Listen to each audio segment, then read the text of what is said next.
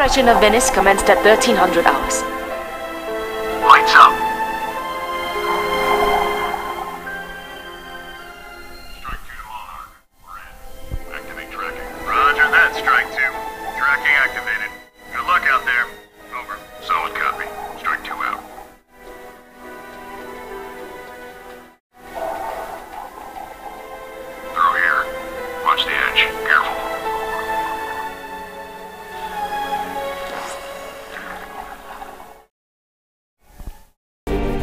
Die ganz knallharten Gameloft-Fans werden diesen Teil vielleicht schon kennen. Das haben wir auf der E3 2013 schon mal gezeigt. Aber es hat sich doch einiges noch getan ähm, in der Zwischenzeit, was man jetzt auch hier sehen wird.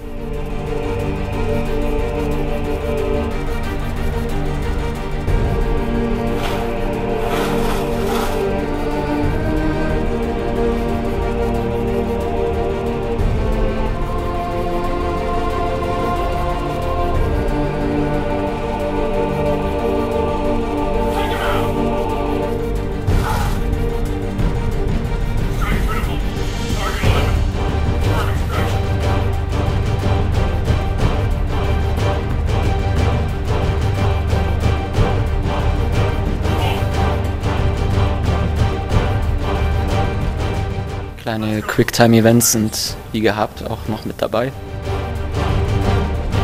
jetzt kriegen wir schon mal einen schönen Blick auf das sehr schicke Venedig.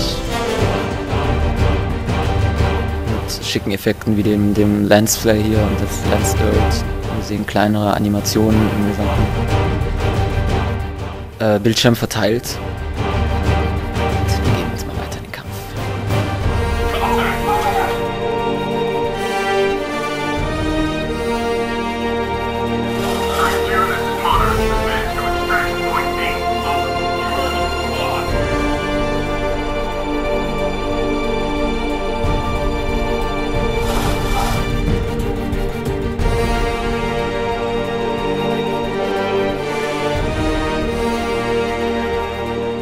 Unserer schicken neuen Grafikeffekte ist dieser hier.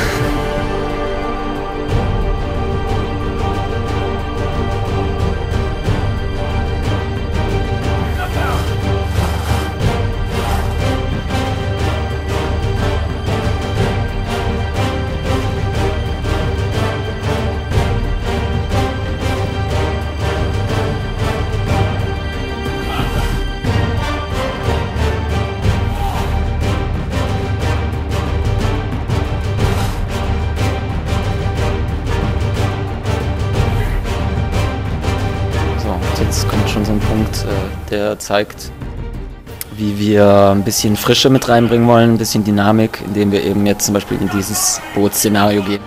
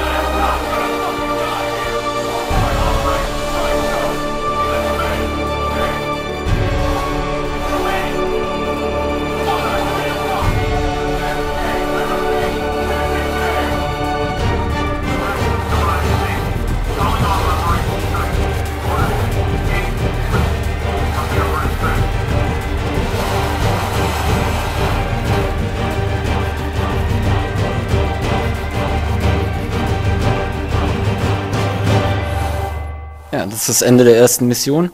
Ähm, jetzt sieht man ganz gut, wie wir die äh, Erfahrungspunkte für unseren Charakter bzw. unsere Charakterklasse und unsere Waffen kriegen.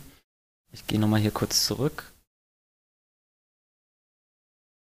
Also es gibt äh, in jeder Mission quasi drei Hauptobjectives, äh, die es zu erfüllen gilt. Für jede davon gibt es XP. Dazu kommen kleinere Geschichten, kleinere Sachen, wie zum Beispiel, wenn ich hier in dieser Mission 10 Kills habe. Na? So.